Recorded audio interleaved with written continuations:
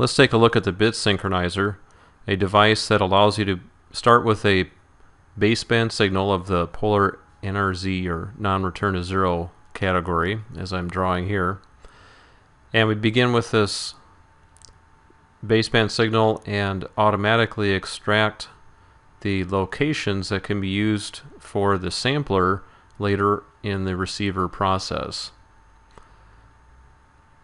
A little bit of notation here. We have the bit interval, T sub b, and the bit rate would be the reciprocal of the bit interval, and I'll call that R sub b. First thing we do is apply a square law device, or you could use an absolute value. Either one works fine. The idea here is to flip all of the negative going portions of the signal positive.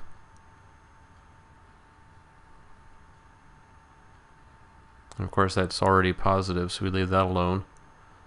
And the benefit for doing this is now we have, have a signal that has regular uh, pulses that occur at our bit rate. Next, let's see if we can just grab those pulses. We do that with a bandpass filter.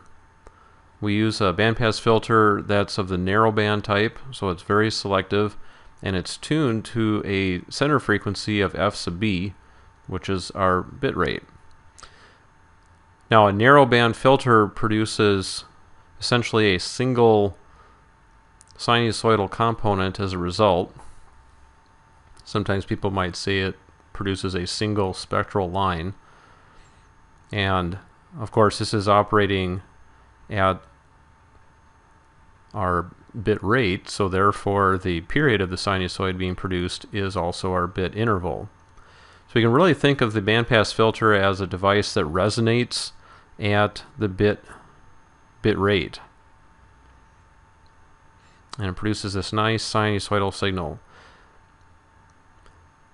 Now, in order for this technique to be effective, we, we need to ensure that the signal that we are processing is uh, pretty, pretty much looking like it has equiprobable ones and zeros. It doesn't have to be precisely that way from one bit interval to the next, but as much as possible, we need to see a lot of activity back and forth on that signal. Long runs of a constant signal would mean that we are not exciting the filter any longer, and that signal is going to tend to die out.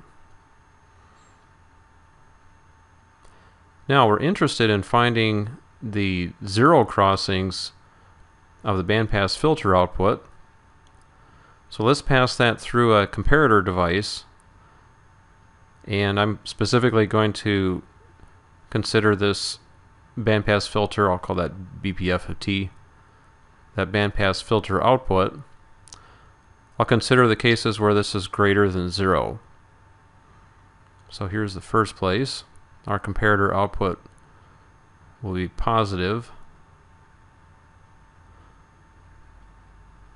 And it will be positive anytime that we see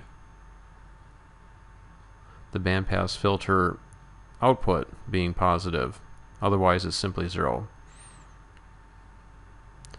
Now I'm interested in particularly finding the rising edge transitions. I'll indicate a couple of couple points where that happens. So we see that any any choice of either rising edge transitions or falling edge transitions also corresponds to our bit rate. So let me form the derivative of that comparator output.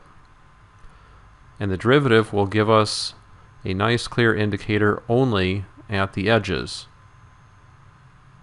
And you can use the finite difference style derivative mechanism for this this part of the synchronizer. Last of all then you can pick one or the other, either use the the rising edges or the falling edges. So again, we use one more comparator, and we can either test the signal being greater than zero or less than zero.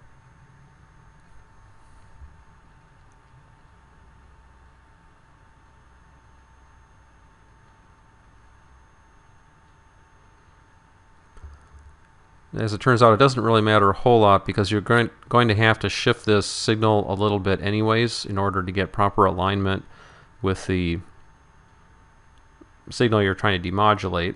But it, what we want to do is use these spikes as the sampling instance.